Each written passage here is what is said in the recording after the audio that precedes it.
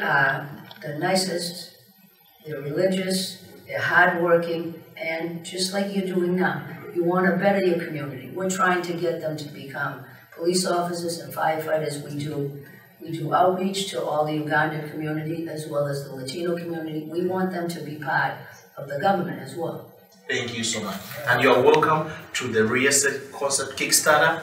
And this conference is designed to help immigrants at least have the piece of the pie in real estate investment in America. Especially because I grew up in, in Waltham here, I've been able to attain to buy a couple of properties in Waltham and I've seen the tremendous growth in the Waltham market. And that is really important. Though. Oh yeah, it's so expensive, but it grows in value because of the impacts which you make, because of the new developments which we are seeing, because we are also, me, my impact is to help affordable housing, at least to have families and loved ones have a place where to live, which is affordable. Truly affordable, Yeah. not luxury. Not luxury, truly affordable, so that we can encourage so many residents to come and live in Waltham. That is one of my vision, please. Thank you so much and you're welcome. I have to tell you something. Thank you so much.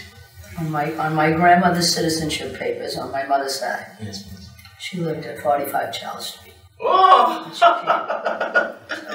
Thank you.